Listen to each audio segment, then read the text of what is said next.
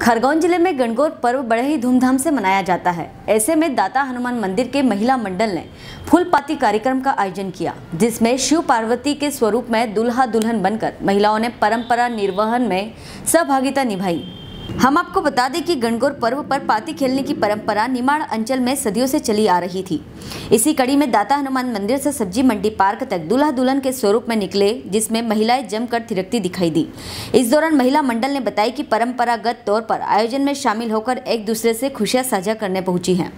खरगोन से जयंत गुप्ता की रिपोर्ट। दाता हनुमान मंदिर के द्वारा, महिला मंडल द्वारा गौरा, ईश्वर गौरा के स्वरूप में अ, पार्टी का आयोजन किया जा रहा है तो यहाँ से हर साल प्रतिवर्ष अनुसार अ, इस वर्ष भी गौरा और शंकर के रूप में पार्वती जी अपना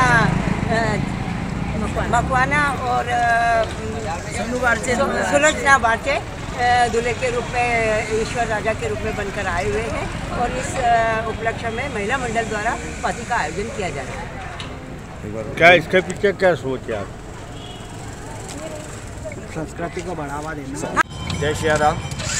प्रतिवर्ष चैत्र मास में जो एकादशी से गणगौर महोत्सव मनाया जाता है। गणगौर की मूर्त रखी जाती है एकादशी के दिन और तीज के दिन माता पाटे बैठती आठ दिन का उत्सव होता है। आठ दिन के पश्चात कोई अपने अपने घर लाते हैं बहुड़ाते हैं, घर ले जाते हैं, फिर नदी ले जाते हैं, वापस लाते हैं। इस बीच में अनेक प्रकार से महिला मंडल द्वारा कार्यक्रम किए जाते हैं। जैसे आज पाती खेल रही महिला मंडल, दाता मंदिर की महिला मंडल द्वारा आज पाती खेली। पाती का मतलब दूल्हा दुल्हन बन करके शिव पार्वती का स्वरूप माना गया है, क्योंकि शिव जी और पार्वती जी का जो विवाह फाल्गुन मास में शिवरात्रि के दिन हुआ था, और भगवान भोलेनाथ पार्वती जी को ससुराल में लेने आते पार्वती जी अभी मायके में हैं।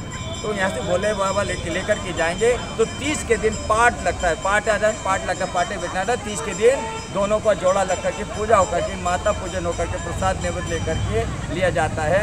और इस संस्कृति को हमारी धरोहर को हमारी परंपरा को बढ़ाने के लिए और हमारी आने वाली पीढ़ी को नौ पीढ़ी को जागृत करने के लिए ये आयोजन इस प्रकार से किए जाते हैं ताकि ये इसको सीखें।